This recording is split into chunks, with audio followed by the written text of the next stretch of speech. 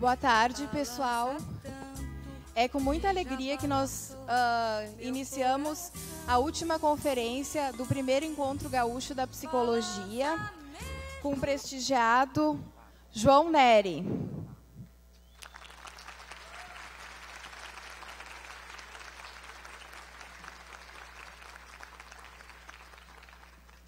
Uh, agradecemos muito uh, o João Nery, sua esposa, por estar conosco durante todo esse evento, contribuindo com a psicologia, para que uma psicologia que faça diferença, uma psicologia transfeminista, que não é uma psicologia neutra, que aceita as diversidades. Convidamos uh, como mediador o Eric Seger, que é educador físico, mestrando em educação, e membro, ativista, né, uh, sócio proprietário, enfim, eu brinco, uh, dos Homens Trans em Ação. Quero agradecer a todas, todos, todos que vieram e que têm uh, discutido nesse encontro conosco, que tem sido tão potente para a psicologia durante esses três dias.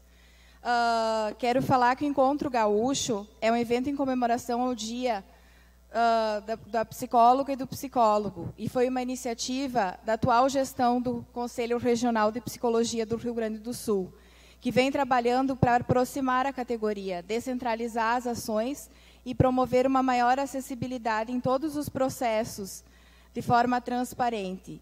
Então, essa programação foi pensada com muito carinho e nós lembramos que o ano que vem é o ano do Congresso Nacional da Psicologia, a instância máxima, e nós vamos discutir e deliberar políticas prioritárias para os próximos três anos. Então, uh, acompanhem no site do Conselho os pré-congressos que vão começar agora em outubro, que é muito importante e a gente fica muito feliz em ver que a categoria tem se comprometido e tem participado.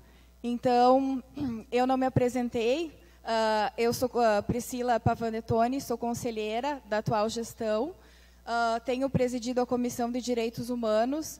Quero agradecer muito a todos uh, e todos funcionários e funcionárias do Conselho por esse uh, belo evento e todo o trabalho que a gente vem, fei vem feito ao longo desses dois anos, bem como meus colegas conselheiros e conselheiras.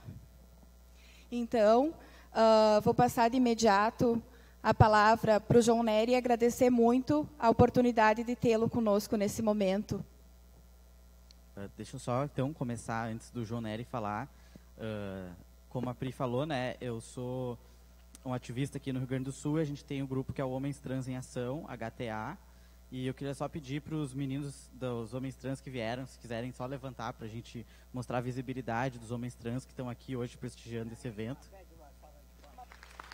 Homens trans, transmasculinos e não binários, né? Se tiver outros que a gente não conhece, que tiverem aí, quiserem falar com a gente depois. Se tiver uma menina trans, travesti, não binária, também pode. Uh, enfim, então a gente queria só agradecer por estar aqui e por tudo que o João Nery já fez, né? Pela nossa visibilidade, pela nossa causa. Então é só essa introdução para ele poder falar o, sobre as transmasculinidades. A gente uh, agradece muito por isso e esperamos ter uma boa conferência. Obrigado.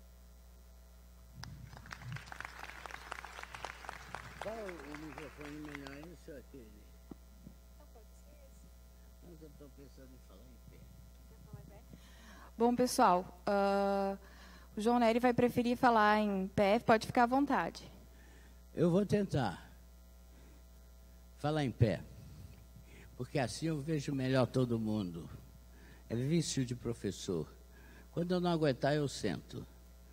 Bom, primeiro, boa tarde a todos, a todas e a todas, porque os não binários também existem, assim como nós temos vários gêneros diferentes, independente dos corpos que carregamos.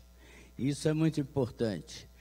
Eu, eu sei que aqui tem muitos alunos de psicologia. Existe algum, alguém aqui que faça algum curso dentro da faculdade que tenha a, a cadeira de gênero e sexualidade? Ninguém? Ah, dois? É da FURG, não? Não, da PUC. Cevale. Tevale. Parabéns a Tevale. É, é um curso obrigatório ou é, é, é, é aleatório? Alguém sabe responder? Mas é uma cadeira obrigatória? Optativa. Pois é. Na, mas pelo menos existe. Porque esse é um grande problema que existe no nosso país. Formam-se psicólogos, assistentes sociais, médicos e ninguém entende porra nenhuma de transexualidade, de gênero, nem de é, sexualidade. Eu vou contar aqui um pouco da minha história e vou intermediar com alguns conceitos para esclarecer a turma aí que não está sabendo, ou pelo menos não tem a formação. Primeiro que tudo, eu sou um transgênero. Isso não é uma identidade, é um adjetivo. O transgênero é um termo guarda-chuva que abarca todos os trans. Os transexuais, as travestis, os drag queens, as drag queens, os drag queens, os é, os outros nomes que se adotam em outros países, como as MUSH no México, por exemplo, né? Enfim, todas as pessoas que transcendem o gênero em relação à sua genitália são considerados trans. Quem não é trans é cis, gênero. Ou seja, cis quer dizer do mesmo lado. Então está com está coerente entre o seu gênero e o seu uh, corpo, vamos dizer assim. Como deve ser a maioria aqui, né, que são os privilegiados, em todos os sentidos. Os trans é que é, são os marginais, sobretudo os, as transmasculinidades, como eu gosto de chamar, porque não existem só os transhomens ou homens trans. Existem os não binários, que se identificam com o gênero masculino, como tem também os não binários que se identificam com o gênero feminino, como tem também os não binários que não se identificam com nenhum dos dois gêneros, e tem também os agêneros, que também é, não se definem por gênero nenhum. Nova York reconheceu oficialmente 31 gêneros na espécie humana. Eu achei pouco, mas é, já que nós somos capazes de nos multiplicar, de nos modificar, de sermos plurais. Bom, eu, quando nasci na década de 50, eu tenho 68 anos Sou considerado o primeiro homem trans operado no Brasil em 1977, durante a ditadura militar. Nessa época, não havia a palavra trans. Essa palavra surge bem mais tarde, lá para a década, vamos dizer, no Brasil, da década de 60, 70, que foi quando eu descobri embora é, a história trans seja mais antiga. Os trans não apareceram de repente, né? Existem há muitos séculos, só que não com essa palavra. É, como vocês sabem, ou se não sabem, eu vou fazer logo a primeira grande diferenciação que muita gente confunde a questão da transexualidade ou da travestilidade ou das pessoas trans é uma questão de identidade de gênero.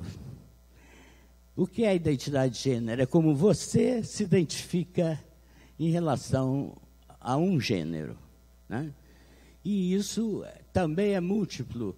Você pode se identificar como mulher, mas nada tão diferente quanto duas mulheres. Né? O grau de, entre aspas, feminilidade ou de masculinidade varia em função de cada um. Em segundo lugar, então, é como você se sente. Isto é a identidade de gênero, como você se define. E a orientação sexual fala do desejo. É diferente. Quer dizer, uh, é porque eu me atraio ou porque eu me apaixono, aí estamos falando de orientação sexual. Então, eu sou um, um transhomem, eu me defino dessa maneira por uma questão política, para poder lutar pelos meus direitos. No Brasil, só existe políticas públicas para transexuais e travestis. Não existe políticas para quem se define como transgênero, nem para quem se define como não binário. Não há políticas públicas, não se conseguirá nada. Então, para conseguirmos ter os nossos direitos, a gente precisa ter uma definição enquanto figura política. Mas que fique claro que o rótulo não define ninguém. O fato de eu ser um transhomem não me faz igual a nenhum desses garotos aqui. Até porque eu saio do padrão. Eu sou um transhomem feminino, feminista, fui criado num mundo feminino ah, até os 22 anos, quando eu saí de casa. E aí, eu. Bem, vou começar da infância. Aos quatro, eu já me identificava como um menino.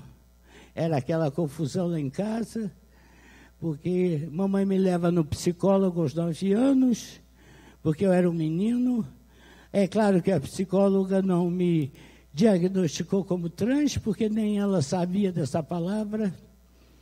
E eu fui criado aos trancos e barrancos, ou seja, vestindo saia para ir para a escola, faz, ganhando vestidinho para poder, né, no Natal, é, sendo obrigado a cruzar as pernas porque uma menina não anda de, não senta de perna aberta e todas essas normas inventadas para se definir o que é o feminino, assim como as normas inventadas para se, para se dizer o que é o masculino ou o que é um homem.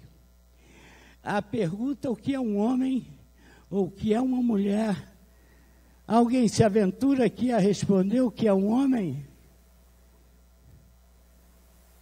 Não há homens na plateia?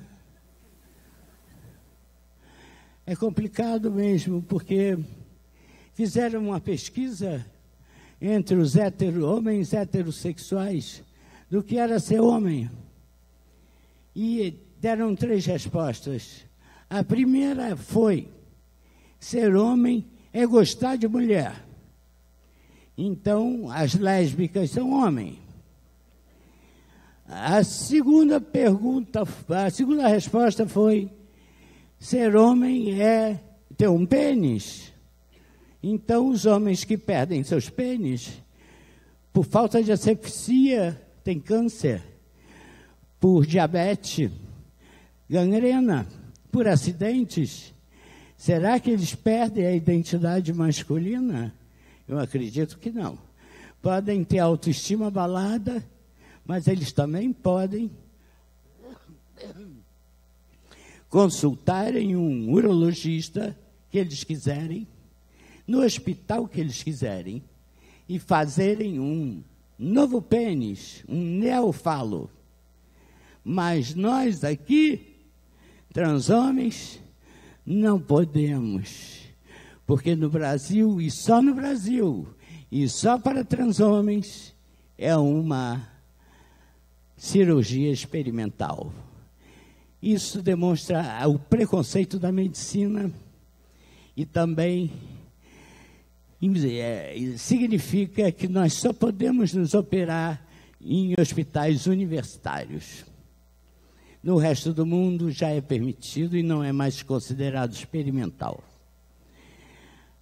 Aliás, para a medicina, eu sou um transexual feminino, porque o que me define é a minha genitália. E como eu tenho ainda uma vagina e não tenho pênis, isso não me faz menos homem. Nunca me fez menos homem. Assim como existem muitas mulheres que não têm vagina, que nascem sem vagina, ou que têm um pênis e nem por isso deixam de se sentir mulheres por causa disso. Então é muito importante essa noção que infelizmente o Freud, em 1912, fala aquela famigerada e infeliz frase anatomia destino, quando na verdade o destino é o gênero. Que é, Judith Butler vai, a partir de 90, desenvolver toda essa questão com muito mais propriedade. Bom, deixa eu beber um gole d'água. E daqui?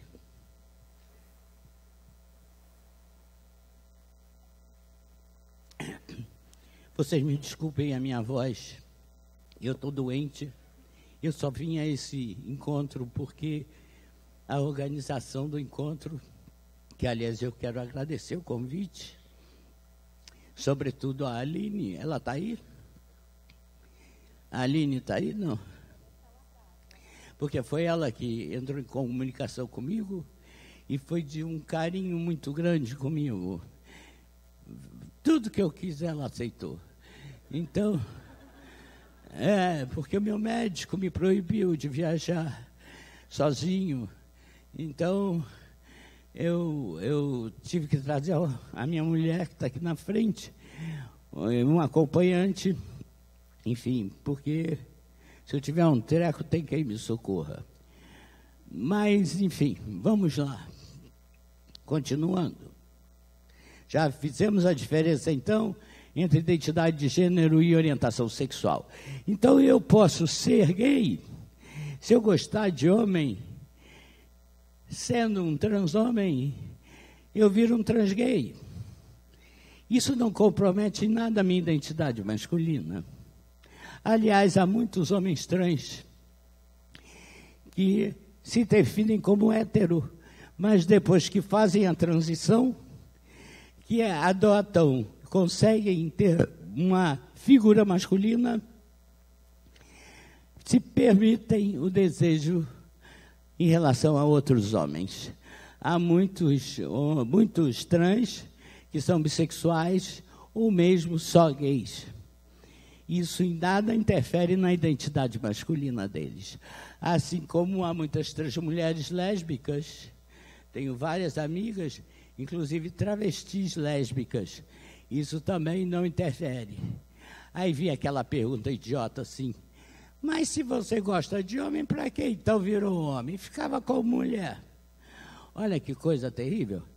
É, além de ser uma pergunta burra, é uma pergunta altamente preconceituosa, né? binarista, que é a grande questão da nossa cultura hoje, de vivermos, num, infelizmente, numa cultura patriarcal, machista, heterossexista, enfim, tudo de pior que tem em termos de sexualidade. Nós adquirimos sem querer, introjetamos esses valores e passamos, e muitos pais passam para seus filhos, que se tornam homens machistas. E como eu disse ontem, é um passant que eu dei uma, uma palhinha na, numa das, numa das conferências que teve aqui, quem tinha que estar no CID não eram os trans, eram os machistas. O machismo é que tinha.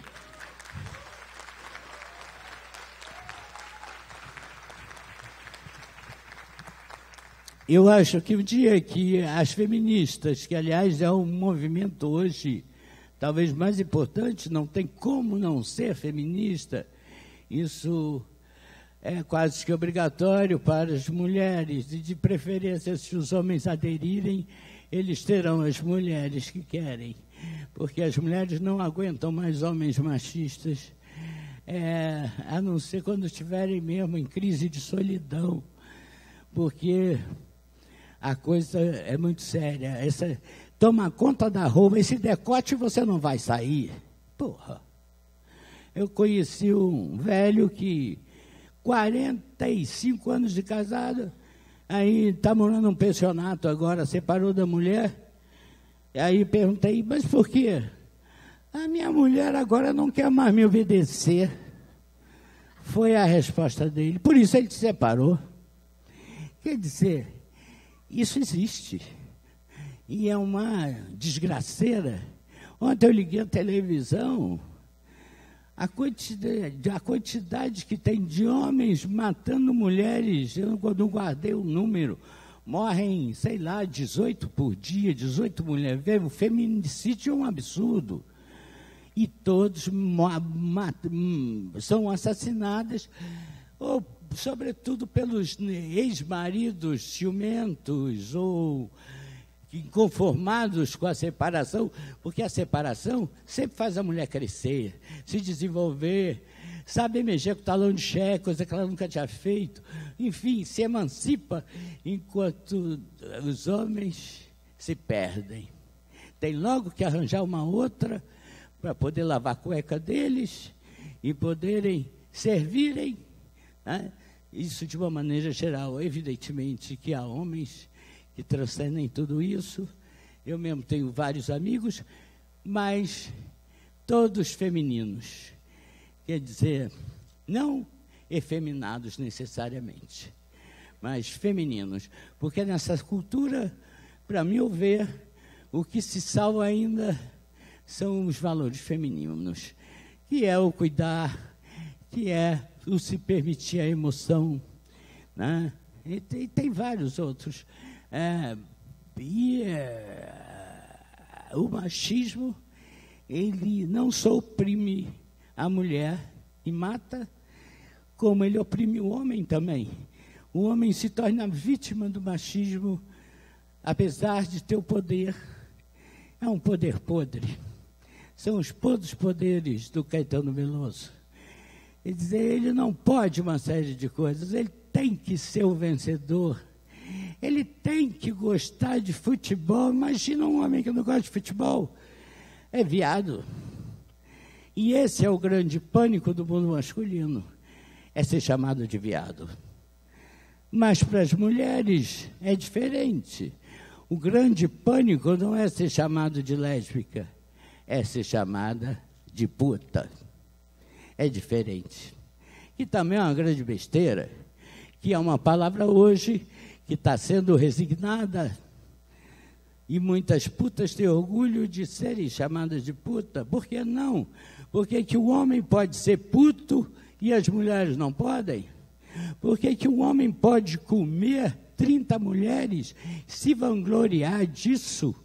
E as mulheres não podem comer 30 homens e se vangloriar disso? É essas questões que a gente precisa repensar. A mulher ainda não é dona do seu corpo. Está aí o aborto.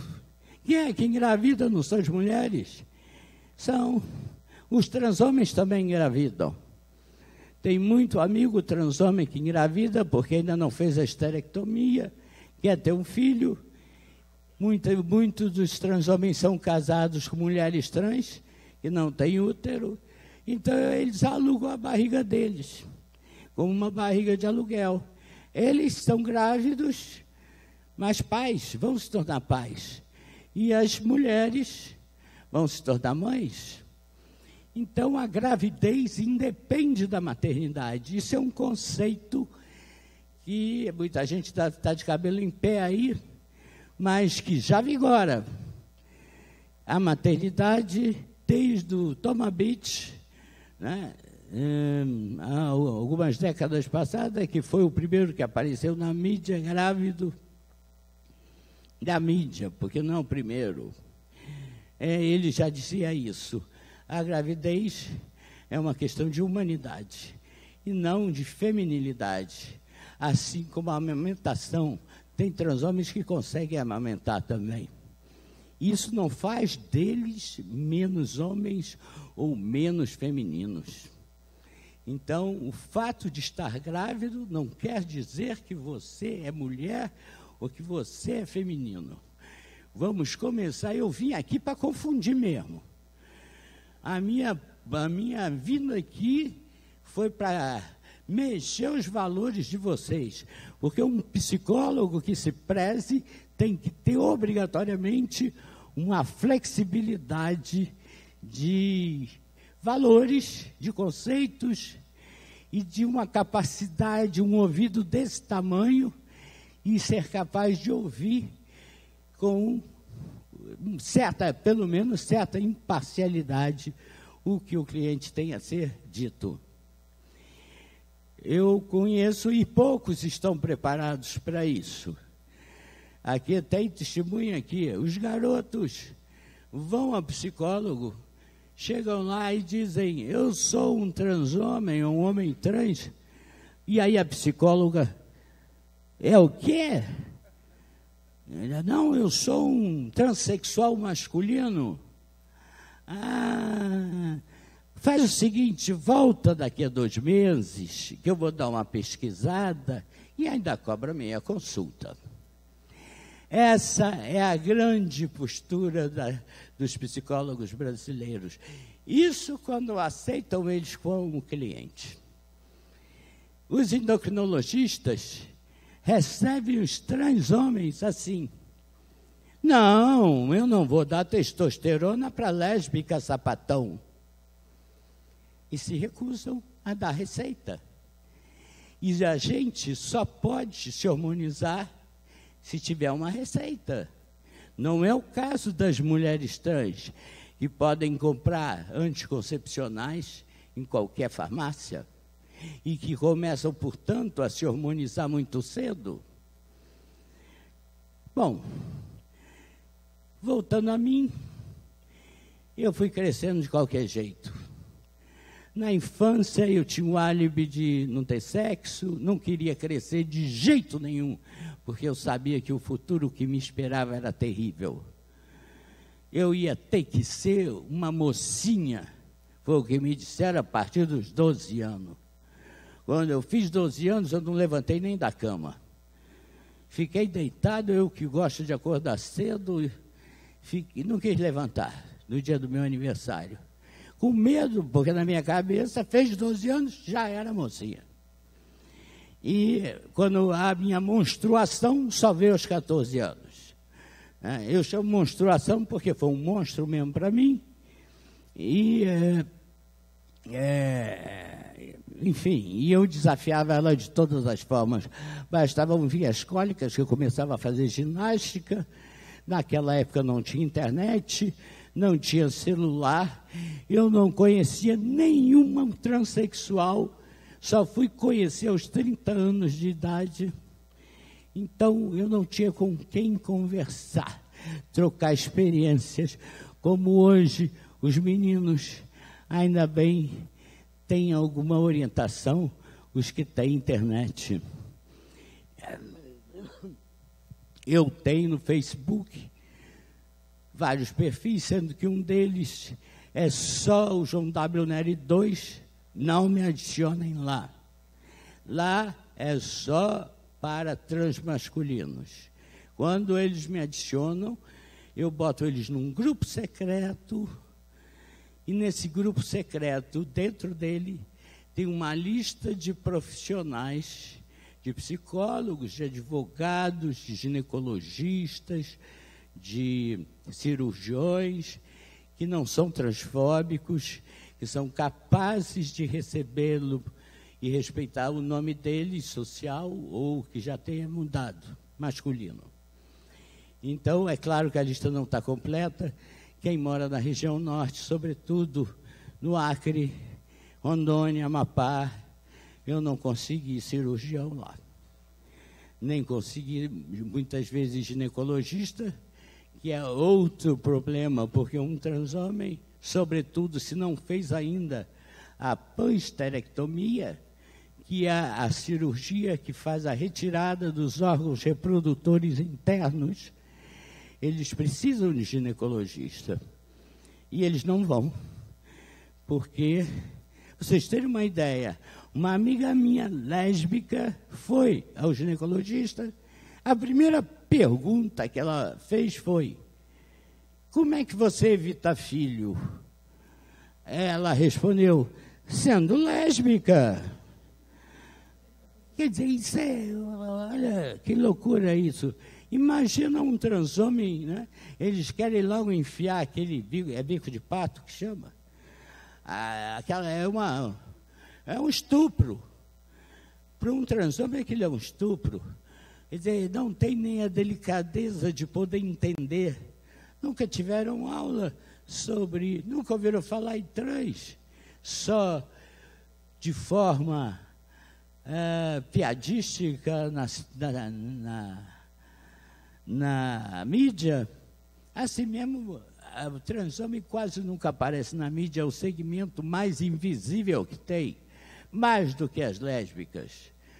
É um movimento que praticamente se criou a partir de 2011. É, me, deixa eu, é, também.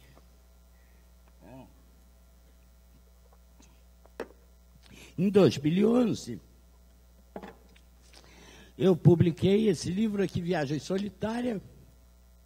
Aqui sou eu com 14 anos. E aqui eu com 27, ainda sem me harmonizar, sem barba, quando eu fiz a minha transição.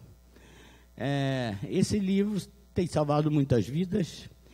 É, foi a primeira, a primeira autobiografia de um transhomem. E é, depois que ele apareceu que aliás apareceu na mão da, da Marília Gabriela, que eu dei uma entrevista de frente para a Gabi, e aí estourou, e muitos, muitos homens trans que até então se viam como lésbicas masculinas, descobriram uma luz no final do túnel, descobriram a transexualidade, descobriram que poderiam se harmonizar, descobriram que a identidade deles não era de lésbica, na verdade, eles nunca se sentiram mulheres. Mas não tinha outra coisa. Então, e todo mundo chamava de Maria Homem, de Paraíba, de Maria João, e todo mundo se sente no direito de injuriar o outro, porque eu sou normal, na medida que eu posso injuriar, na medida em que eu posso caçoar, usar o meu preconceito contra qualquer um, chamar ele de viado, eu estou dizendo que eu não sou. Eu estou dizendo que eu sou normal. Então, é, nós servimos para isso para afirmar a cisgeneridade como sendo a normalidade. Infelizmente, isso que acontece, é claro que o preconceito é resultado de uma grande ignorância, de falta de informação, e que ultimamente tem é, havido um avanço, é claro, desde a minha época até agora tivemos grandes vitórias. O movimento das mulheres trans e travestis desde a década, na verdade elas surgem na década de 60 praticamente, não só como prostitutas, mas também como atrizes, naquela época chamadas transformistas, que é o caso da Rogéria, né? que já faleceu. E, mas haviam outras, Jane de Castro, várias. Embora só houvessem uns dois ou três teatros do Rio de Janeiro que aceitavam eh, transexuais como atrizes. Elas, algumas estão vivas ainda, né? Fizeram até um filme, As Divinas Divas, em homenagem a elas. E elas são as pioneiras e elas abriram caminho para todos nós aqui. Então, o movimento dos transhomens ou das transmasculinidades começa basicamente a partir de 2011. É claro que já havia transhomens antes, como o Xande, que foi presidente da parada, de São Paulo em 2005. Mas era um.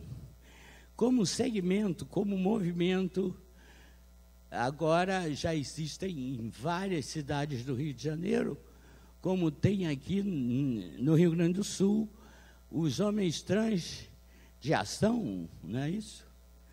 É o nome, é o nome do movimento que eles, eles estão se organizando, eles estão se tornando militantes, ainda bem, porque eu não vou durar muito. E é preciso que se lute pelos nossos direitos. Bem, é, quando eu cheguei aos 22, eu saí de casa, fui morar com a minha namorada. Eu sou heterossexual, infelizmente, porque eu acho que a bissexualidade é a tendência da humanidade, porque você pode beber prazer dos dois lados. O gênero seria secundário, mas ainda não estamos nesse estágio. E eu. Bem, eu passei então a viver uma vida social com duas identidades sociais, eu passava por um rapazinho, então é, quem não me conhecia me chamava de senhor, e quem me conhecia, como a família, o trabalho, é, me chamavam de senhora. Eu nunca sabia como é que eu ia reagir. Se chamava de senhor, eu baixava a, o pescoço e tentava falar grosso. Se chamavam de senhora, eu tinha que afinar a voz. Era uma doideira. Até que um dia deu merda, mas aí é outra história. Enfim. E, e aí eu descubro uma equipe pioneira no Rio de Janeiro, que eu sou de lá. Dá para ver pelo sotaque, né? E me submeto a todos os exames, testes, a, a equipe estava começando, enfim. E acabo fazer, a cirurgia era ilegal, era considerado mutilação do humano, não existia SUS. Eu consegui fazer a cirurgia em São Paulo com um grande cirurgião plástico que tinha começado a fazer em mulheres trans em 71 e foi inclusive condenado por causa dessa cirurgia a dois anos de prisão e uh, ficou em sursis porque era primário depois ele recorreu e conseguiu ser absolvido. O Roberto Farina, que já faleceu. E é, ele que fez parte das minhas cirurgias. É claro que a esterectomia foi um ginecologista que fez aqui no Rio de, lá no Rio de Janeiro. Mas tudo escondido. Eu só pude ficar um dia na clínica, todo costurado, todo. É, enfim, saía andando assim. Não existia colete para quando você tira as mamas hoje, você usa, os transhomens usam colete, porque o que acontece é o seguinte: um homem trans, antes da cirurgia, nem todos querem se operar, nem todos querem se harmonizar. Vamos acabar com essa, esse conceito de disforia.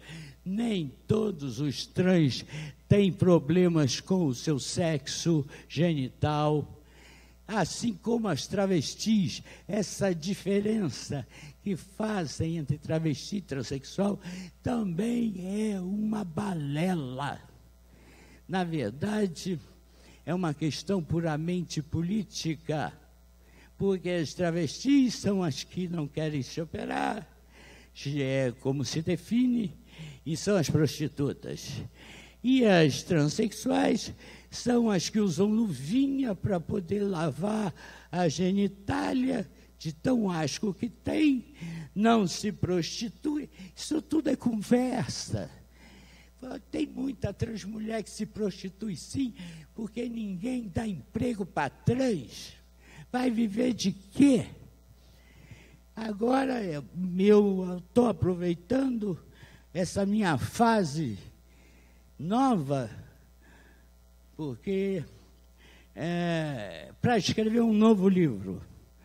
Eu estou escrevendo agora sobre a velhice trans que não existe nada ainda editado no Brasil sobre esse assunto.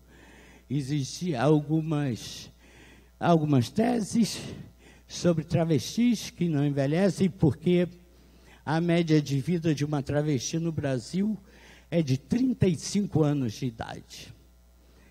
Mata-se um LGTB por dia no Brasil. E não é bala perdida, é bala bem dirigida. Ou elas morrem assassinadas crudelissimamente, queimadas, empaladas, esfaqueadas, ou morrem de AIDS, ou morrem por tóxicos, enfim, ou suicídio.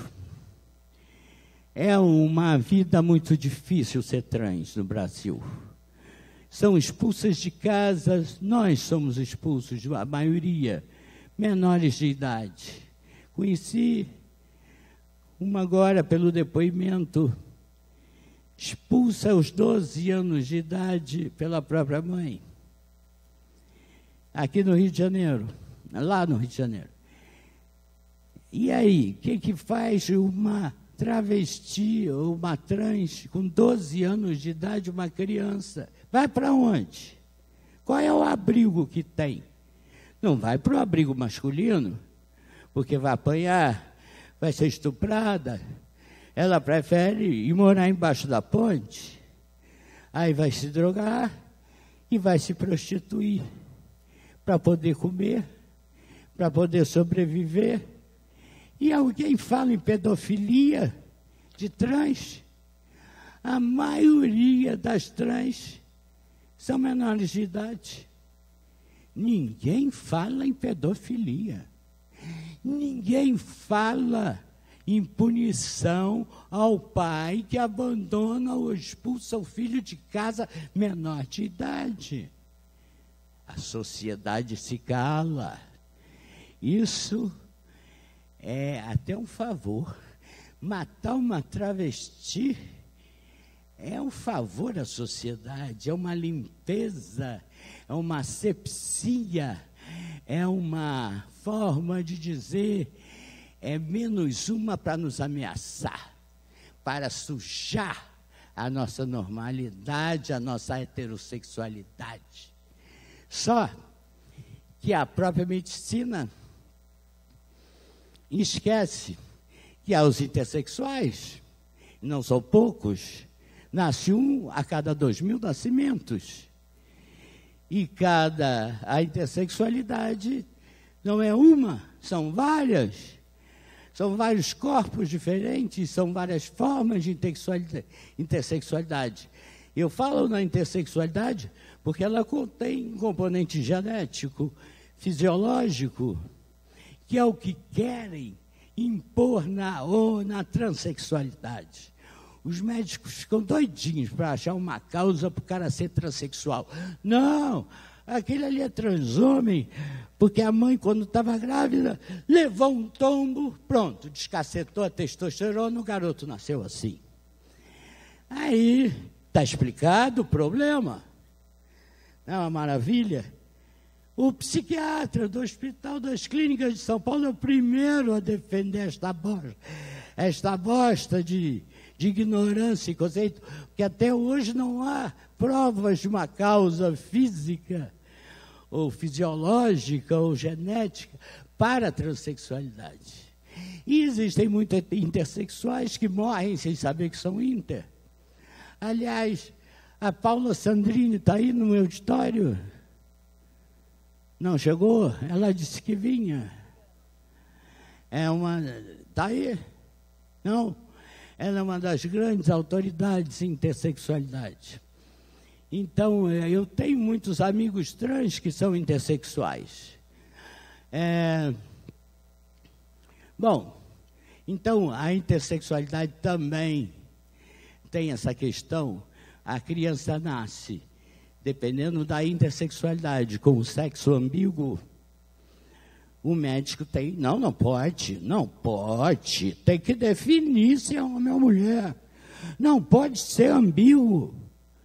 Como é que vai batizar? Tem que dar o um nome. E aí opero a criança recém-nascida, não é uma cirurgia só, são várias. E quando a criança cresce, que chega lá para os seus 7, 10 anos, e vai perguntar aos pais que cicatrizes são aquelas, muitas vezes descobre que não é o gênero que ele escolheu para ele, o mesmo que o médico tinha escolhido. Porque o médico geralmente feminiliza, porque, segundo as palavras deles, fazer um buraco é mais fácil do que levantar um poste. Então, aí existe hoje um movimento internacional contra essas cirurgias para intersexuais. Tá quente aqui, hein? Pô, tá ligado o ar? Aumenta. Tô suando pra caramba. Bom, é, eu aí fiz as cirurgias, tudo escondido, daquele jeito, com a técnica da época. Obrigado. Segura aqui meu chapéu.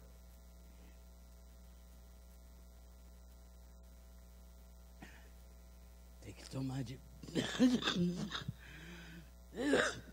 Devagar, senão eu entalo.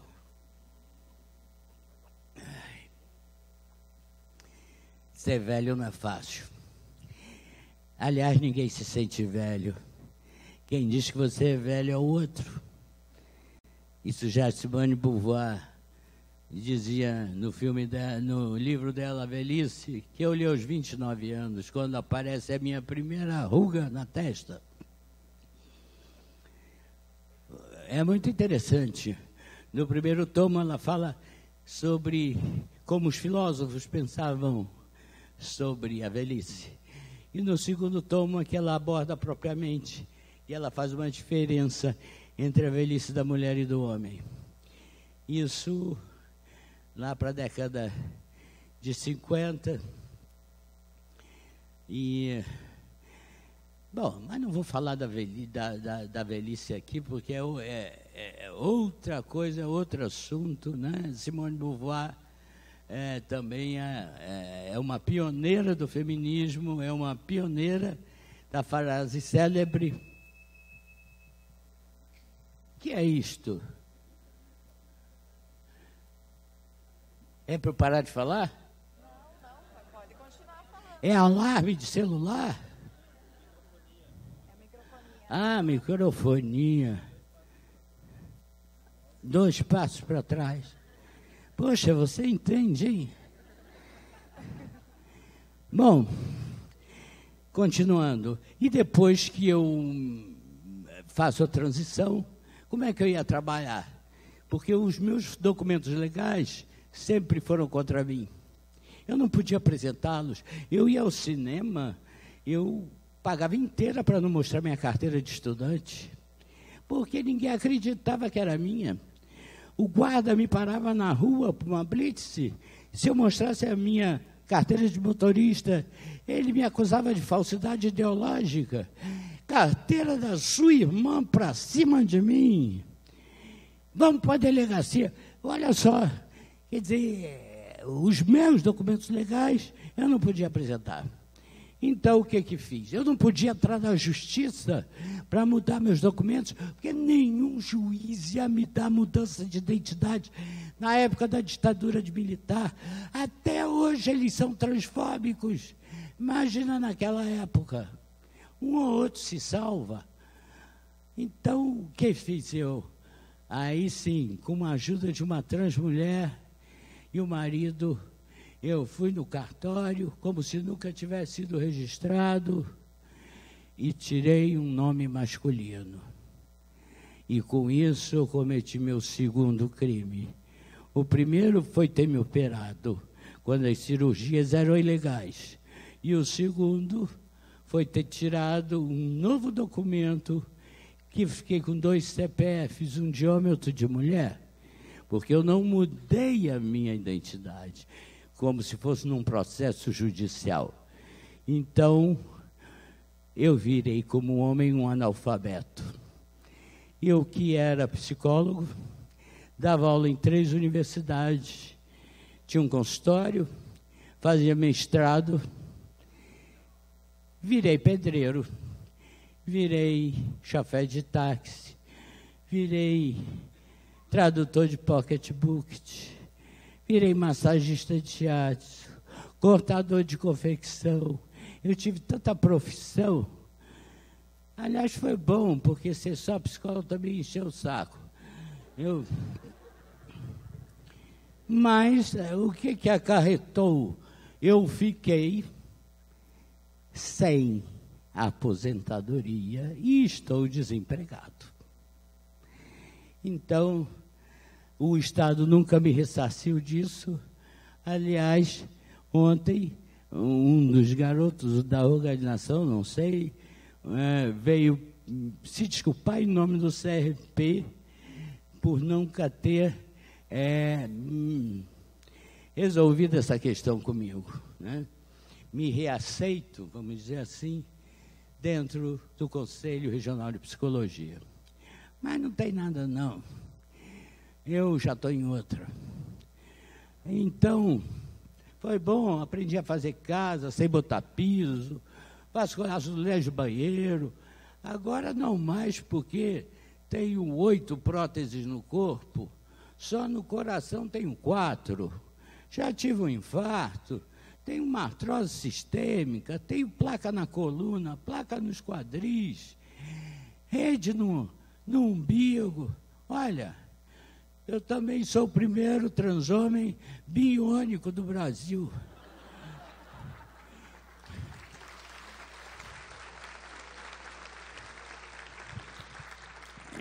Virei um ciborgue.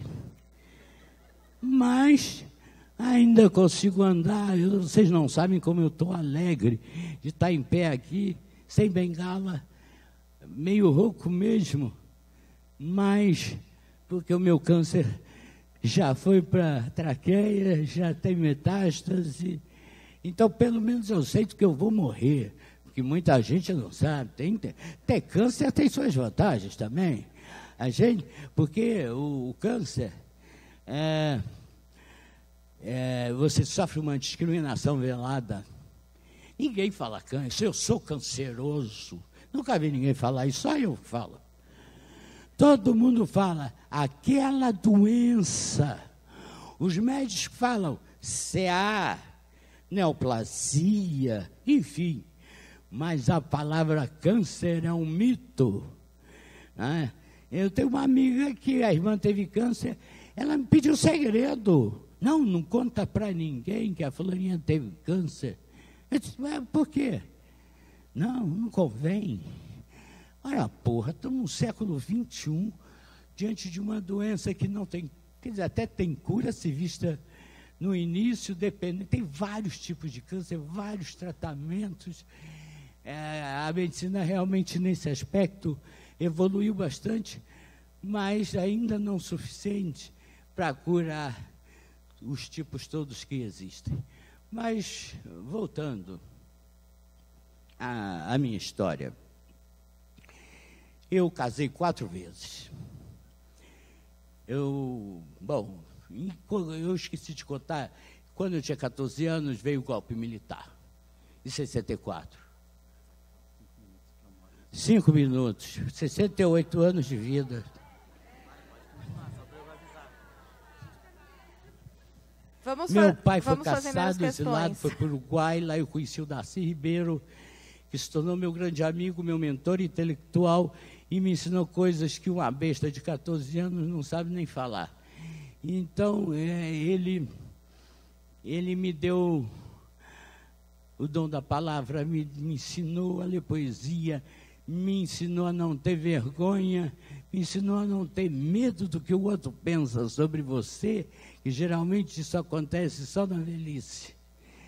Porque você precisa da aprovação do outro para ser amado. E é em função disso que eu escrevi o Viagem Solitária. Ali eu boto tudo, seu menor pudor, da minha infância e minha velhice. E foi o livro que a Glória Pérez usou nessa última novela dela, A Força do Querer. O, a Ivana, que vira Ivan, é baseado no Viagem Solitária. Eu trouxe alguns livros para vender, poucos, porque eu já vendi uma porrada. E também do Vidas Trans também tem pouquíssimo e vai ter um autógrafo, sei lá aonde, depois.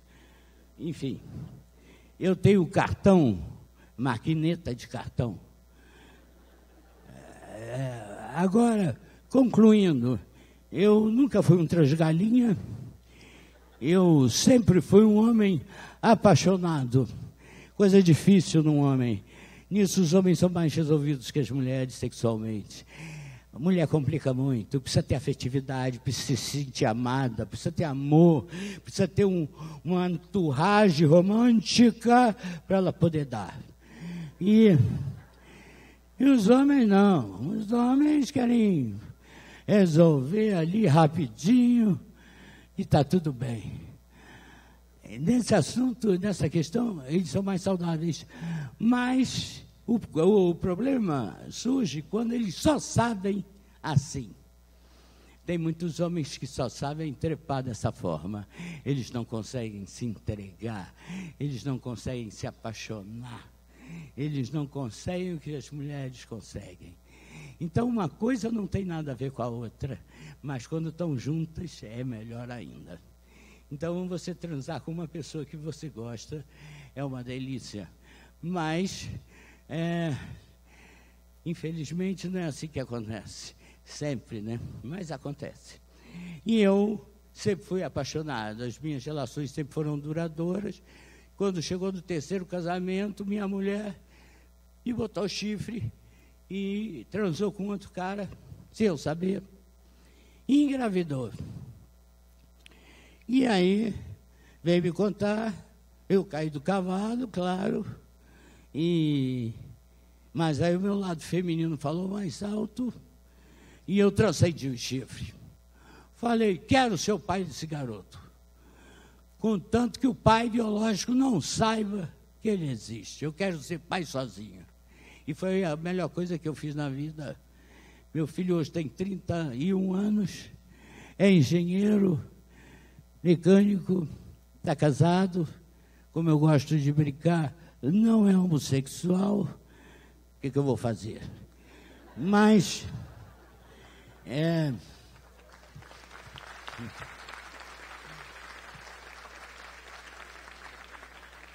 Claro que é uma brincadeira, né? Mas é porque acham que um pai, um pai trans, o filho vai ser trans ou vai ser gay. Né? Não, dois homens não podem adotar uma criança porque vai vir, o garoto vai virar gay, tendo pais gays. Isso é de uma ignorância, é de outro, é outro tabu que a gente tem que romper completamente. Assim como duas mulheres que têm, adotam crianças, necessariamente a filha ou o filho não vai ser gay ou lésbico, enfim. Pessoal, ai, tanta história tem tanta coisa para contar. Eu sei que vai ter um debate agora. Né? Eu, eu queria falar só mais alguma coisa. O Supremo Tribunal Federal, felizmente, deu a gente a chance de ser uma pessoa, ter um nome. Né? E no pior momento do Supremo, quando ele é mais criticado internacionalmente, né? pelas cagadas, não tem outro nome, que eles andam fazendo, soltando gente aí que. Né, o Gedel que diz que não tem prova, aquela mala cheia de dinheiro, mil jogadas políticas de interesses dos empresários, da bancada ruralista, da bancada evangélica, só tem bosta do concreto e que vão botando filhote. Agora os filhos dessas bostas agora estão se candidatando com, com sobrenome diferente para não ser identificado. É. Não podia faltar o fora Temer, né?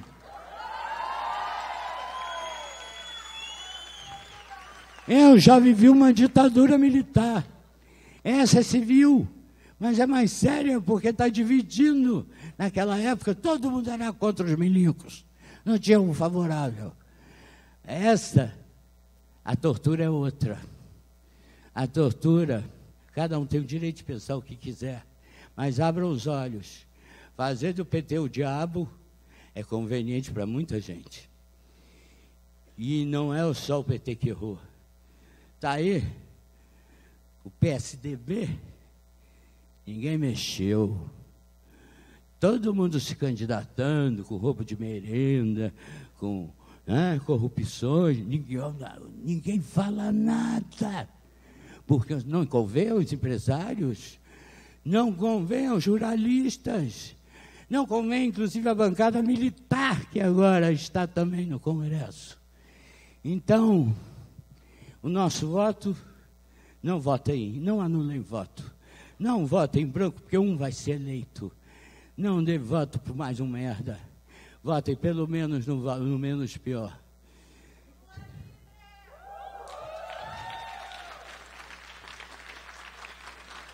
Bom, nem o celular tocou, ninguém saiu, ninguém piscou, e eu só tenho a agradecer. Muito obrigado.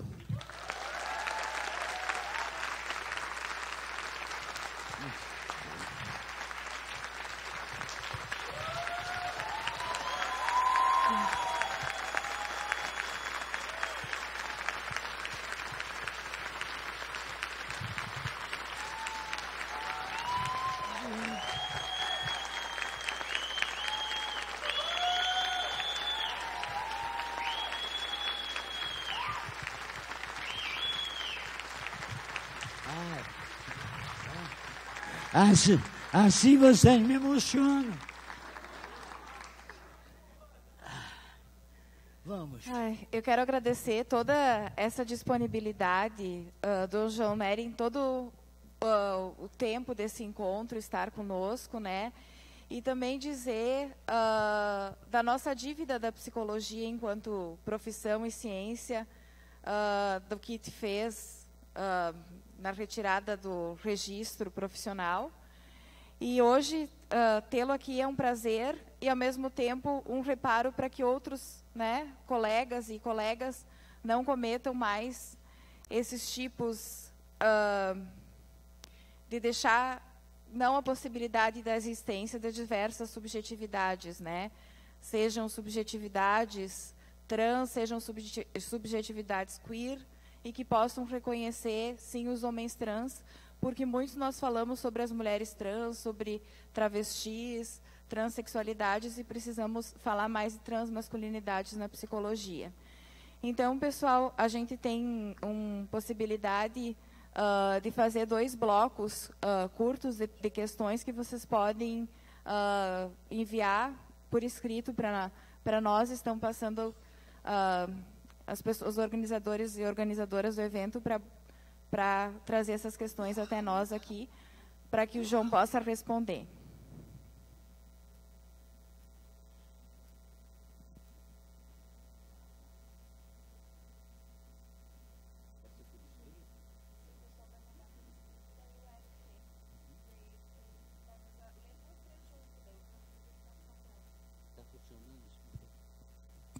Será que eu fui tão claro que não tem pergunta, não? Porque aí a gente vai para a noite de autógrafo. Nenhuma. O pessoal está escrevendo ainda, está se aquecendo. Porque Olha, essa, tua, essa tua fala nos mobiliza muito, né? Então o pessoal está ainda processando. Seja objetivo, porque a minha voz está acabando, hein?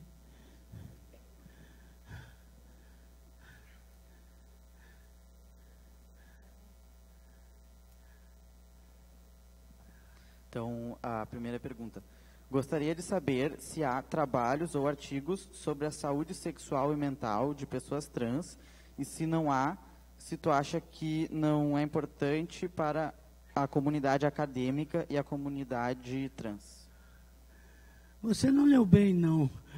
Eu, eu fiquei confuso aí, né? É, para saber se... Se, se não tem saúde para trans, tem trabalho e o que mais? Se trabalhos ou artigos sobre saúde sexual e mental de pessoas sobre? trans. Saúde sexual e mental de pessoas trans. Artigo tem. Isso tem. Agora, a saúde não tem. A prática não tem. Tem cinco SUS no Brasil. Um aqui, que é o Protig, em Porto Alegre, Dois anos.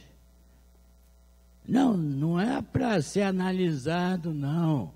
Como o protocolo manda, dois anos para ser chama, chamado. Você se inscreve e vai ter que esperar dois anos para ter a primeira consulta. Sabe por quê? Porque só tem, só tem um urologista para atender o hospital inteiro.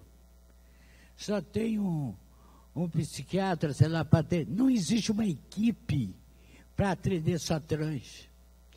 E isso não é só aqui em Porto Alegre. No Rio de Janeiro, tem tanta gente. Fecharam as inscrições. São Paulo, idem. Fecharam as inscrições. O que, que sobrou? Goiânia, que é uma fila fenomenal. Recife. Acabou. Região Norte não tem SUS, não tem processo transexualizador, não. Quem mora lá que se foda. Então, o que tem é um ambulatório que os três homens lutaram e conseguiram abrir em Belém. Mas o ambulatório, ele não faz cirurgia, ele só faz hormonização e dá assistência psicológica. Que todo trans precisa, quase todo, porque vivem em depressão. Os pais que não expulsam de casa prendem o garoto, faz cárcere privado. O garoto fica no quarto o dia inteiro porque paga mico para a vizinhança, paga mico para parente. Quanto menos ele aparecer, melhor.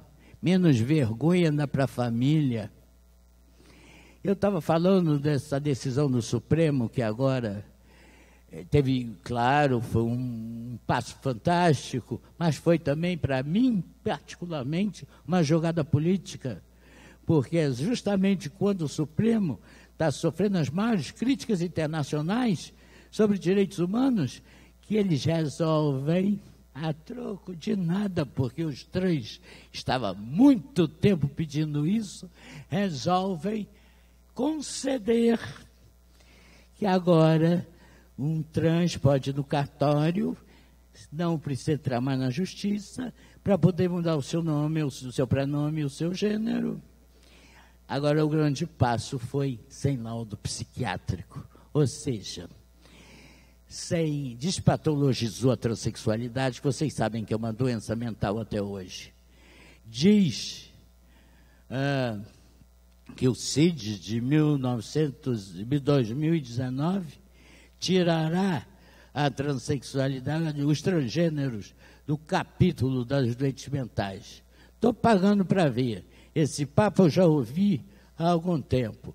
Já foi disforia de gênero, já foi transtorno de gênero, mas tudo dentro do capítulo da, das doenças mentais.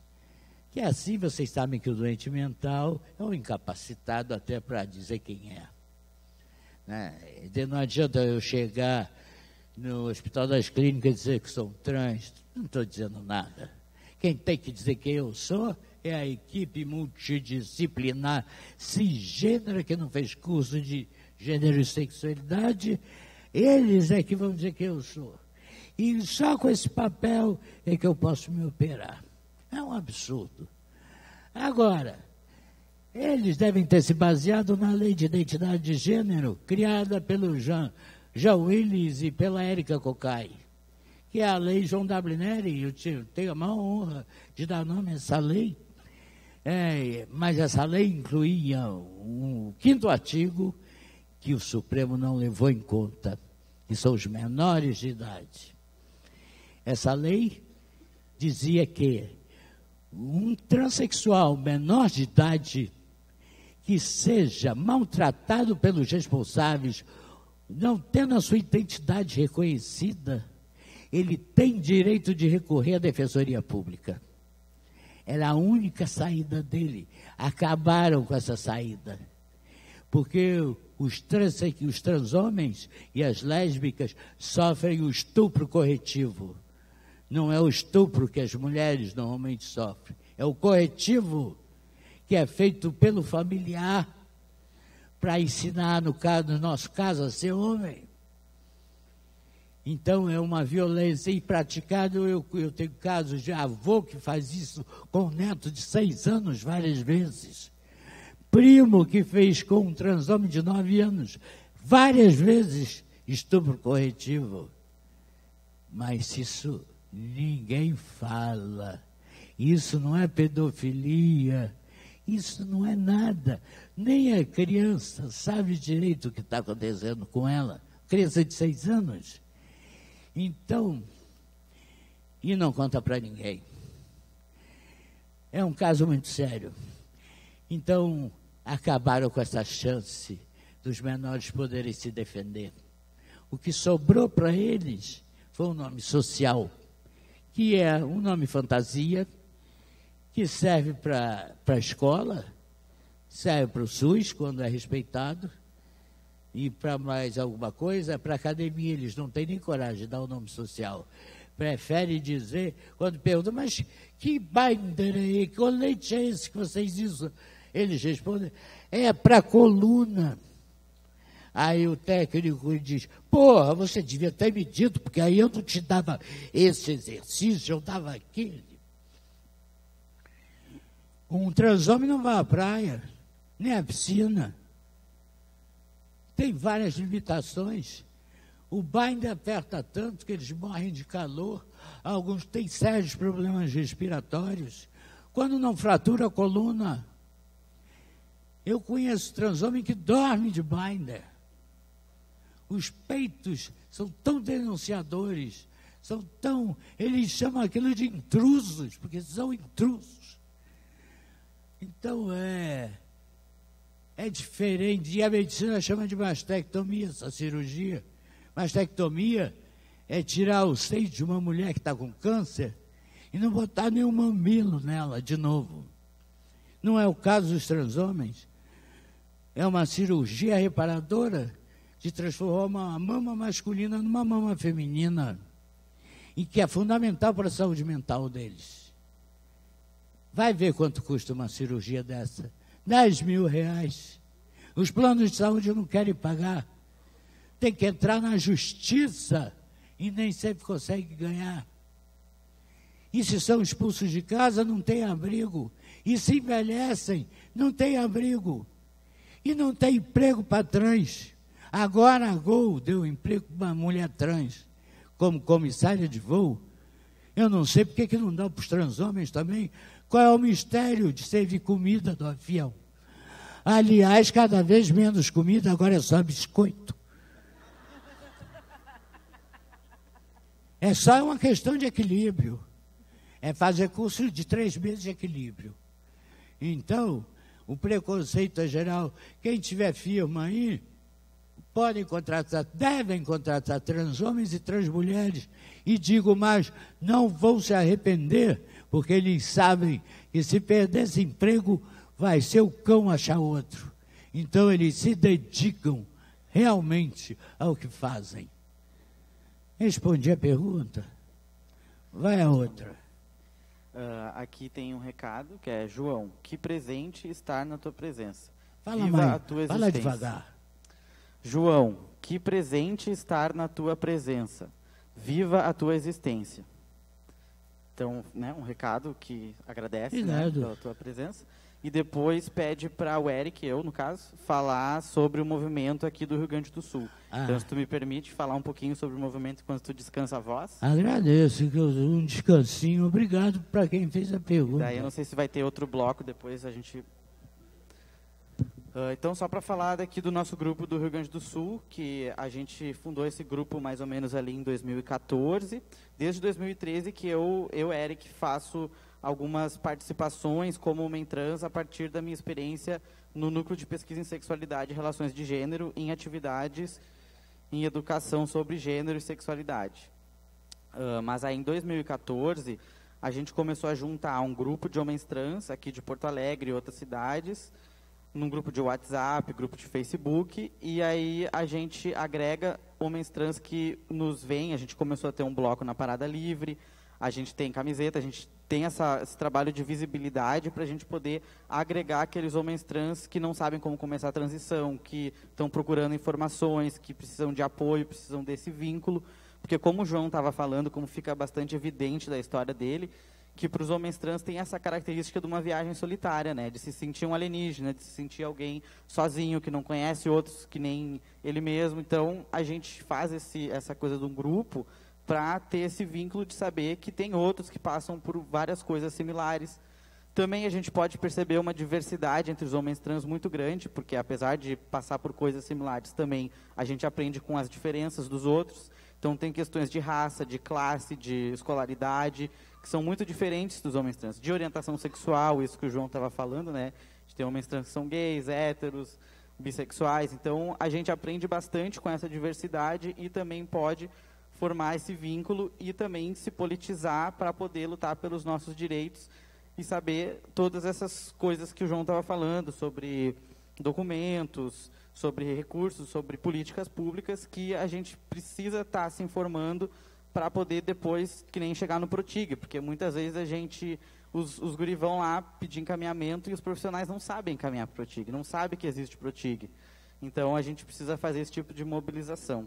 E eu lembrei de um documento que foi, saiu em 2012 na, da Comissão da Diversidade da OAB, que fala sobre o nome social na escola e que uh, a OAB recomendava que não fosse necessário o consentimento dos pais para os menores de 18, porque era isso que o João estava falando, né?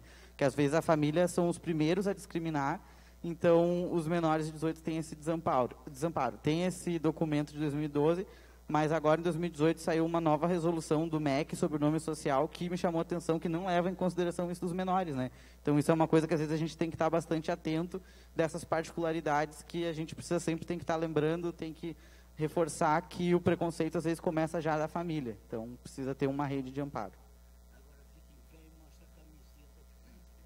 Vou mostrar a camiseta, então. Vocês podem ver que a Pri também tem uma, né? Uh, esse símbolo foi um designer que fez para nós, né? É um símbolo que coloca o símbolo do transfeminismo, né? Por questões de design, a gente também ele parece um pouco um diamante, que seria uma questão de resistência, né? O diamante é uma não sei como é que se explica lá, mas é uma coisa que é muito resistente e também um pouco uma coisa meio super-homem, meio uma coisa assim. Então é um símbolo que a gente carrega que frequentemente tu, tu, tu tá com essa camiseta ou lembra que tem esse, esse grupo, tu sabe que tu não está sozinho, né? Tu tem essa força do grupo junto quando tu adere ao grupo. E aí a gente sai na rua, sai na parada para justamente ter essa visibilidade, né? Para sempre chamar mais gente para nossa causa.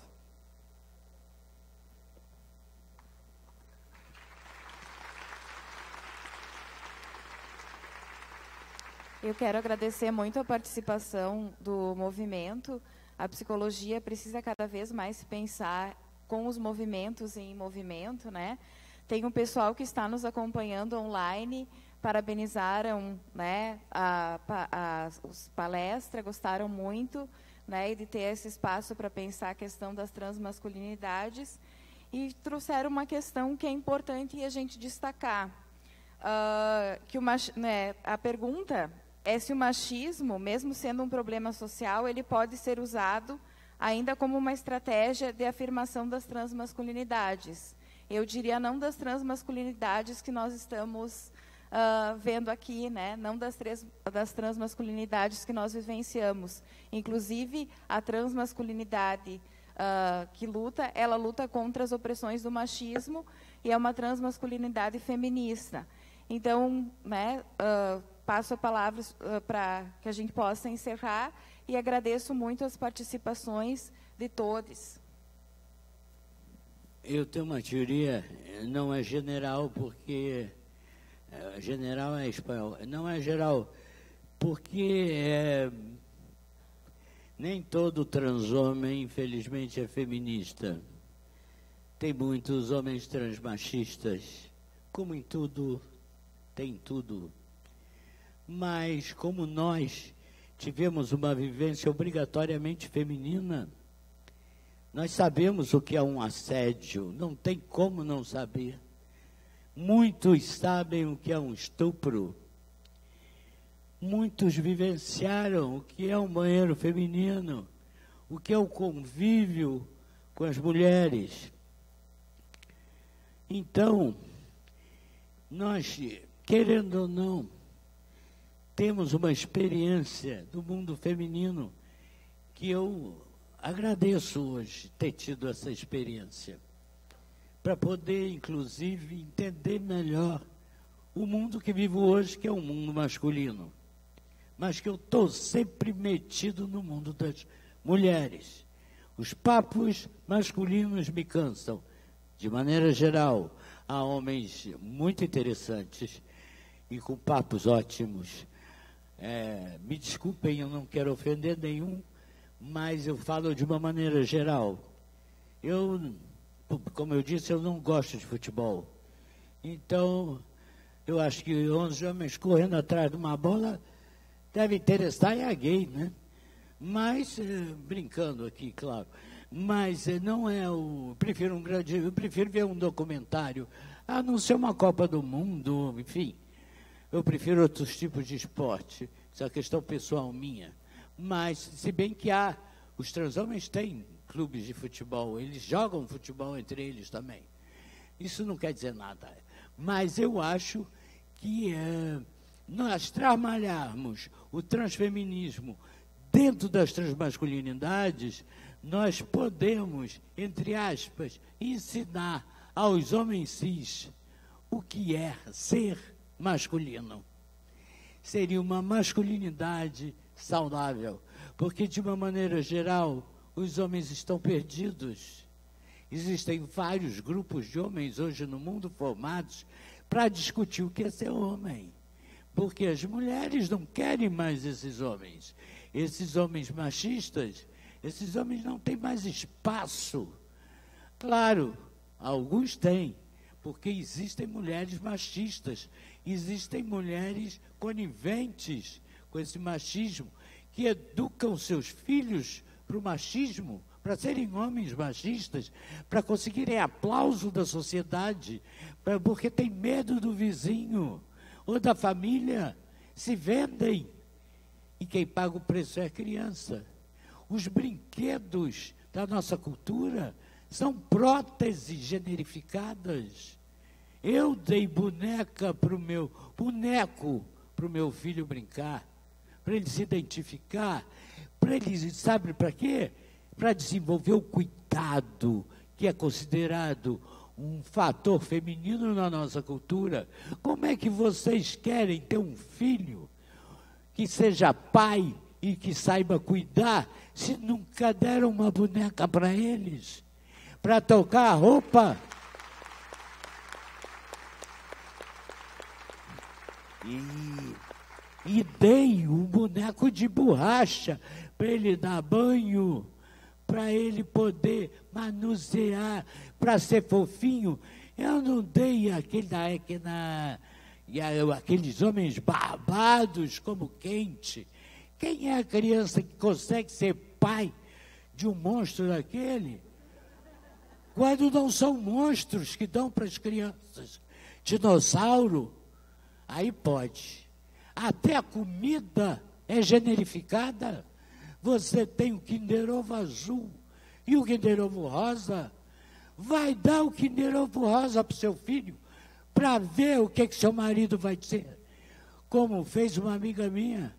Você quer transformar nosso filho num viado? Porque tinha o de ovo rosa, vinha uma bonequinha desse tamanho dentro. Olha que loucura. Ao que se chega. Então, olho aberto. A cultura tem interesse nesse binarismo, em só existir homem e mulher, em separar cada vez mais esses dois mundos. Fatura altíssimo, desodorante para homem, desodorante para mulher, perfume para homem, perfume para mulher, tudo é roupa, afina, até que enfim a moda agora está permitido saia para homem. O calor, então, no Rio de Janeiro, botar uma calça é matar o indivíduo. Oi, no, no, em Teresina, capital mais quente que eu já fui. Né? Nunca mais volto lá, me desculpem, os piauenses, mas quase morri. Só queria usar saia, é porque eu não tinha, infelizmente. Então eu acho que nós devemos rever essas questões. Nós não somos homens porque usamos roupas masculinas, porque cortamos cabelo curto. Nós transcendemos essa história, embora seja uma performance, mas nós sabemos quem somos, não ficamos, precisamos ficar provando através de brinquedinhos que nos impõem a cultura. Olho aberto, hein, psicólogos?